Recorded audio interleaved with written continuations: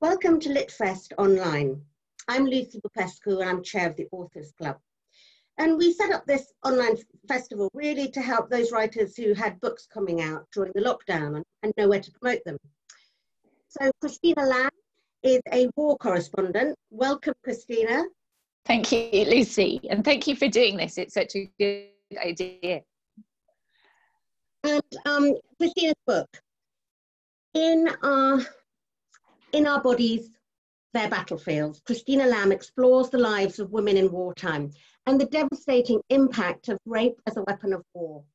She visits the Congo, Rwanda, Nigeria, Bosnia, and Iraq, and spends time with the Rohingya who had to flee Myanmar. She records the harrowing stories of survivor, survivors from Yazidi girls kept slaves by ISIS fighters to the thousands of schoolgirls abducted, abducted across northern Nigeria by Boko Haram. Our Bodies, Their Battlefields gives these women a voice and, docu documents the lifelong damage caused them.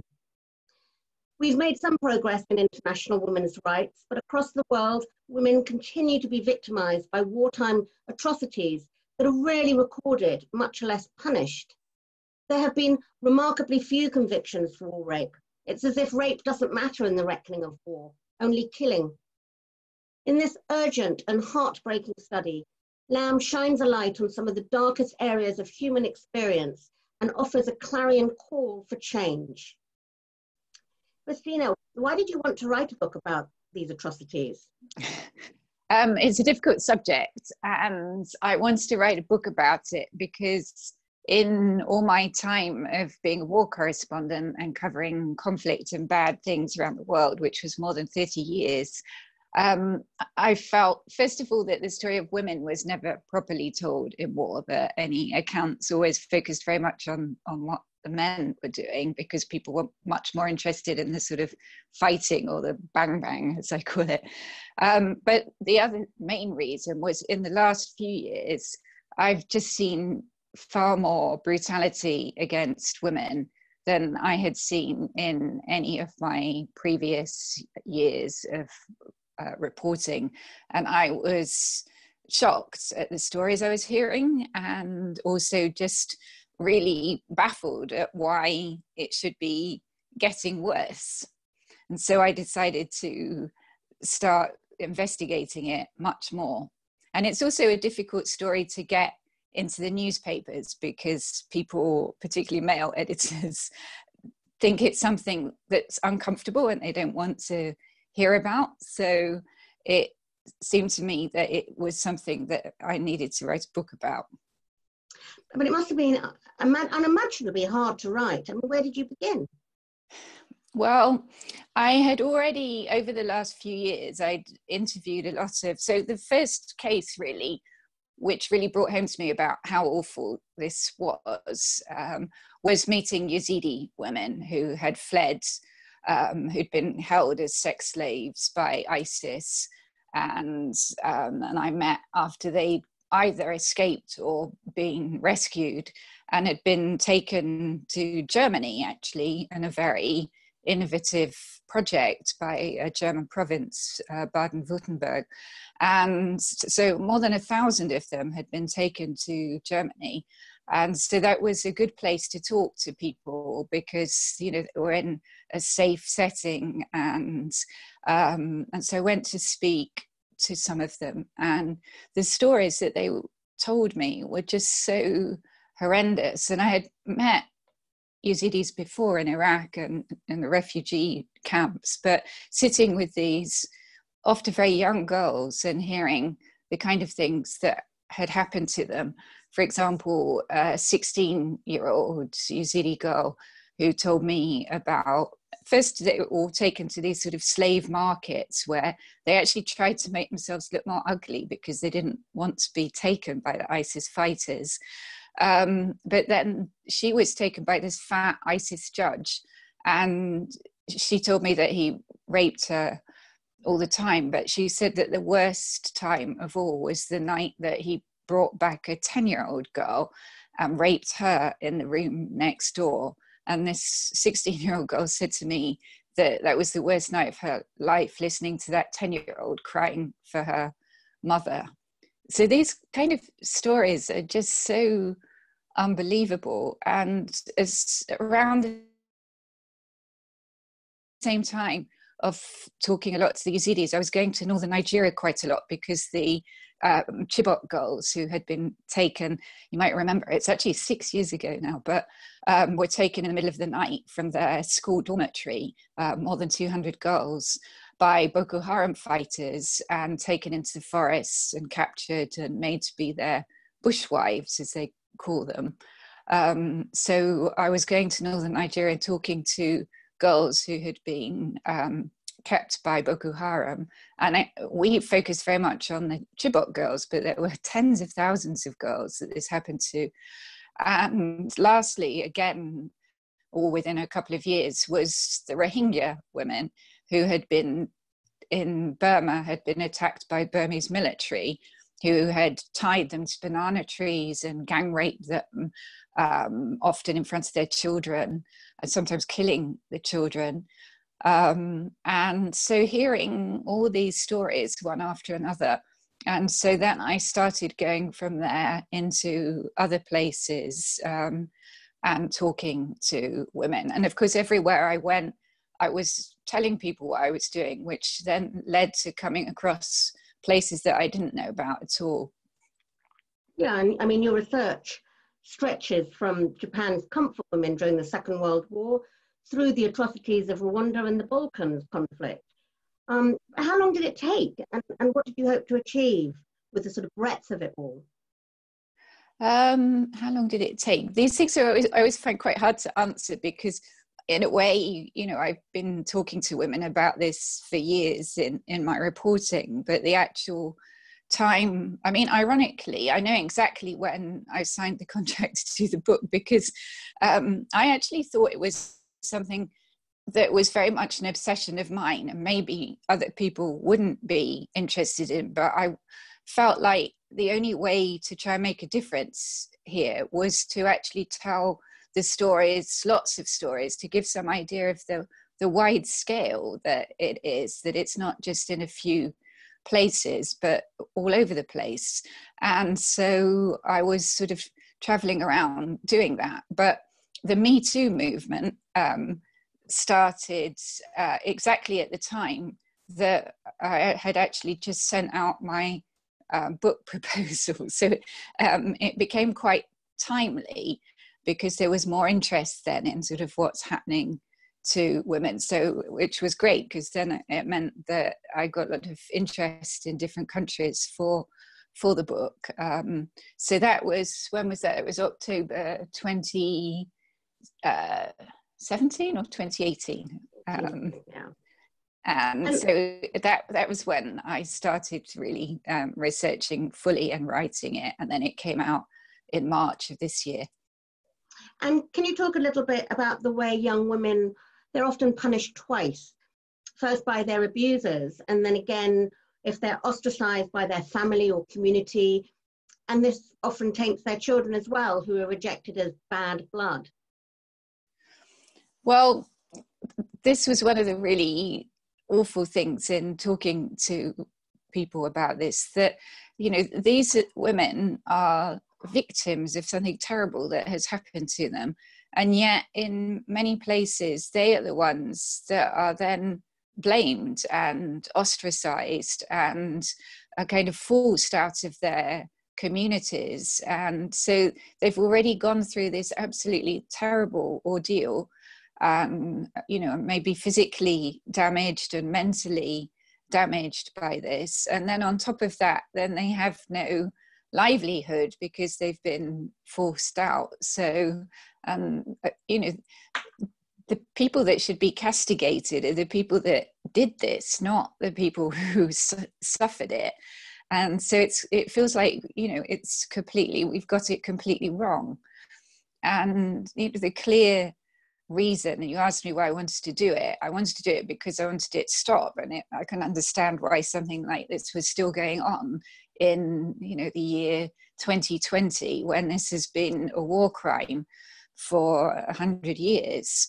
Um, and so but clearly the main reason that it's still going on is first of all it is effective and cheap. Um, and as you know a number of people said to me it costs less than a bullet um, but also there's complete immune, impunity. Almost nobody as you mentioned in your introduction almost nobody has been brought to justice for this. So as long as that continues then you know this isn't going to stop. Um, for the past 10 years i've mentored two survivors of torture. Um, we help them write about their experiences. But um, I don't have to ask them any difficult questions. They just tell me what they want and write what they want. And also, that's a relationship built up over years. Where do you begin if you've only got a matter of minutes, hours, days? You know, how do you build trust? Well, the good thing about doing it as a book was that I did have more time, you know, and these stories, I always emphasize you know when people are doing reporting on these kind of subjects these stories need time these people have been through something terrible and if they're going to tell their story they need to tell it in the way that they wish to tell it and that might take a very long time. Um, i sat you know for days with some of the yazidi girls in particular listening to the stories and they wanted to tell me every single detail of of what happened. Um, but I was, of course, very worried about re traumatizing people by making them recount the most terrible thing that had ever happened to them.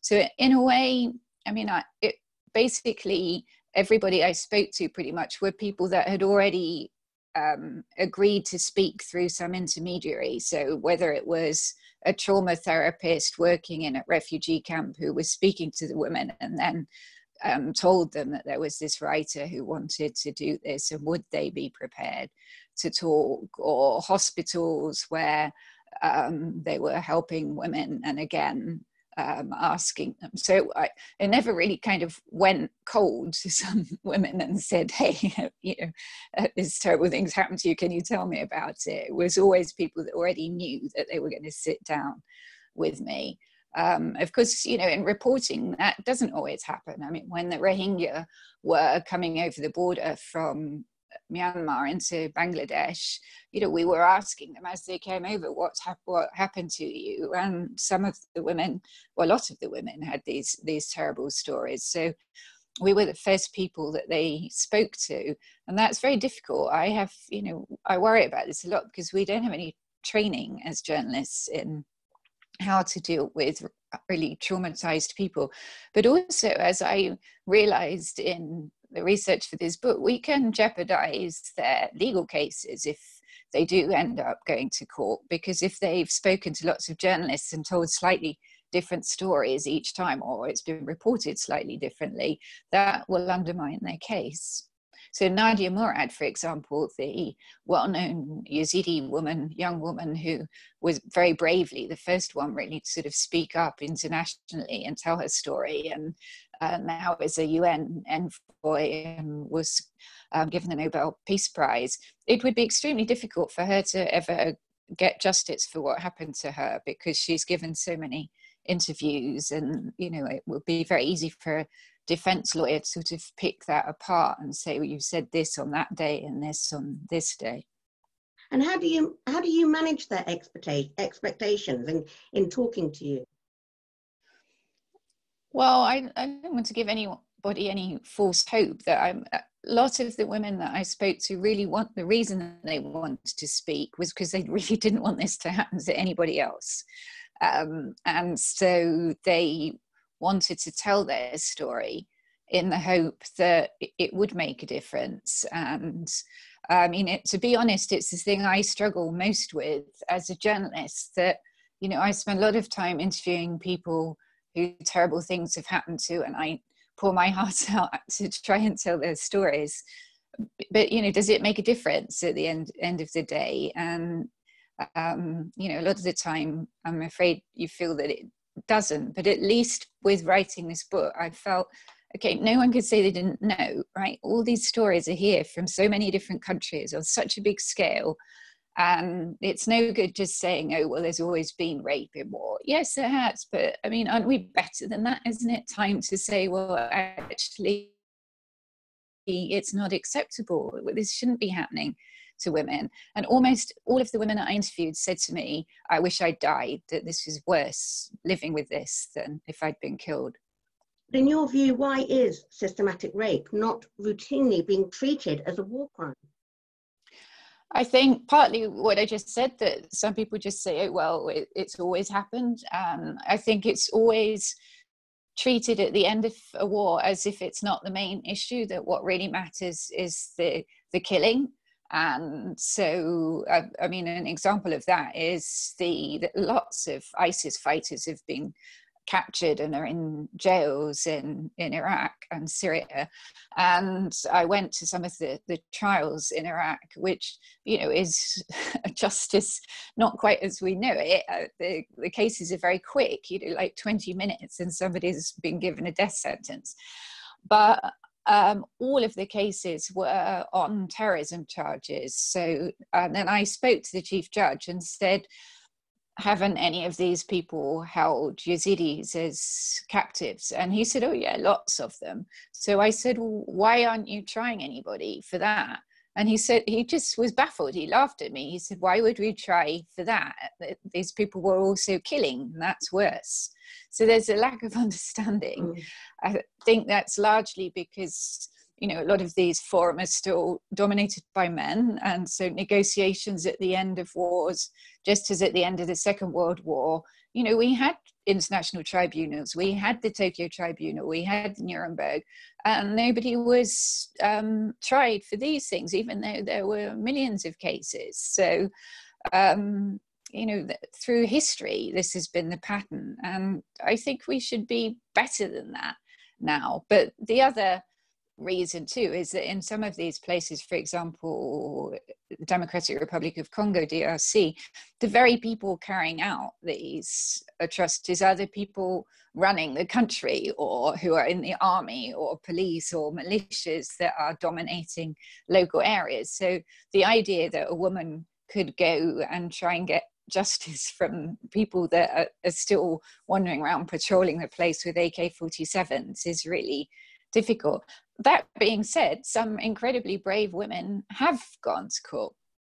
Um, is that why the De- Democratic Republic of Congo, it's today dubbed the rape, cap- rape capital of the world? Why is it so appalling there? Um, is it down to impunity or, or something else? Well, uh, above all, impunity. But and there are people, there are some brave people trying to change that. Um, but the general climate is one of allowing these things to happen.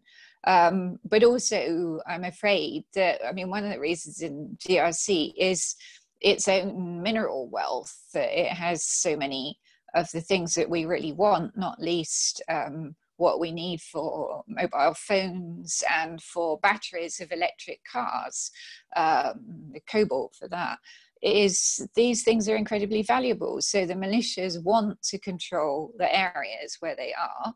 And the easiest way to do that is to um, force the villagers out or intimidate them. And an extremely effective way of doing that is to rape the women because then you humiliate the men that feel they can't protect their women. Um, you decimate the society and um, people flee. And um, can you talk a little bit more about art, writing, gardening as forms of therapy for many abused women you met? Yes, I mean, a, a particular thing that people seem to find very helpful was to to kind of go back to the earth and um, whether it's women of Srebrenica in um, Bosnia who started growing roses um, and that's kind of a sweet story because one of the therapists helping them um, thought that this might help them. And she ordered um, from a, or got funding from a dutch project and they sent a lot of roses to grow. But then when the women grew them in their gardens they liked them so much being there with the smell of the roses that they didn't cut them. And the whole idea had been to give them a livelihood. And so she had to get lots more. And now they do sell as well.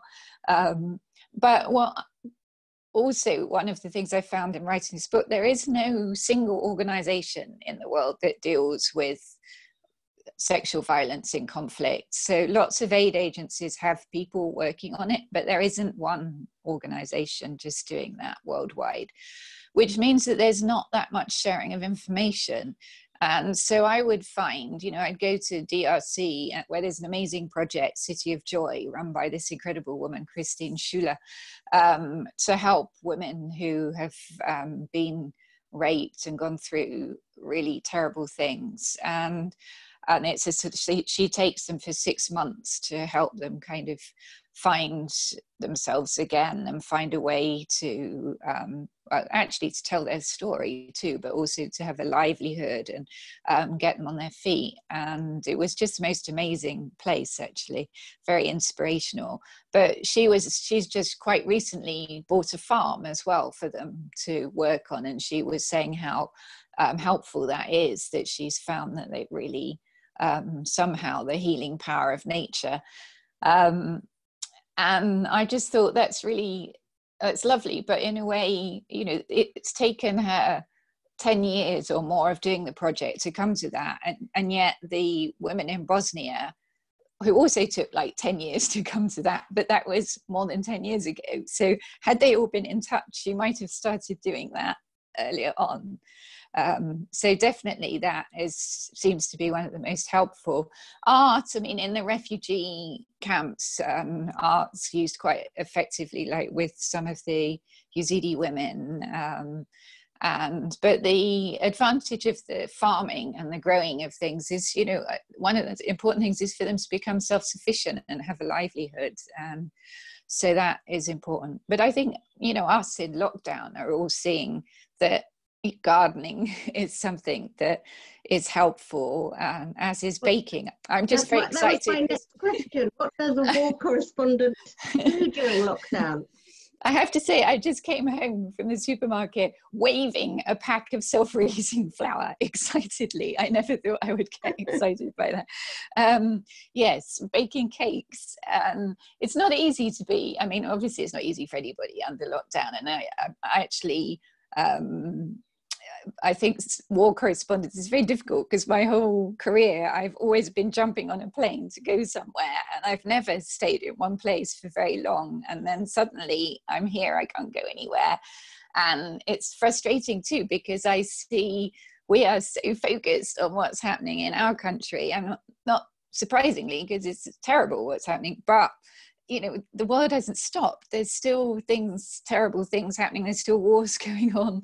Um, and there are a lot of people you know whose health systems just cannot cope with this at all. There are countries like somalia that don't have a single ventilator or you know countries that um, like south sudan that have like 12 um, intensive care beds. So if they get this on a big scale you know they they just don't have the means to to deal with it at all so it concerns me that you know we're not maybe focusing on that enough and also um, i'm seeing in a lot of places where there are autocratic rulers people really taking advantage of the situation. I mean, somebody said to me, dictators love lockdowns, and mm. it's perfect for autocratic rulers to be able to, you know, crack down on the press, to arrest their opponents, to do all sorts of things. That so we're seeing that happening quite a lot. So I am concerned that we still cover some of these things, but actually. Um, I've been mostly reporting on my own country and city for the first time in my career, really. And so, like this week, I was talking to bus drivers in London about the risks that they're taking because it turns out that as a percentage, more bus drivers are dying than any other section, sector of the, the society. Um, it worries me a bit that we get these figures every day six, 700 people dying, and we're just mm. accepting it. I mean, this is mm. like 10 times a Grenfell fire or a 7 7 bombing. And um, and we they've become numbers. We don't know the stories of the people. And I my whole career has been about you know the power of a story telling people's stories and so trying to find you know just to remind people the individuals behind this one of the bus drivers that i wrote about who was who died a week ago and his daughter was telling me about how he loved poetry and playing the guitar and and going for cream teas. You know, it just brings home that these this is individuals with who had everything ahead of them and their whole how tragic it is for their families. Yeah, well, I'm afraid we're out of time, but thank you very much for giving, giving us some insights into your book. It is a terrific book. I urge people um, to, to read it as soon as possible. But Christina, thank you very much. Thanks, Lucy. Great to talk to you.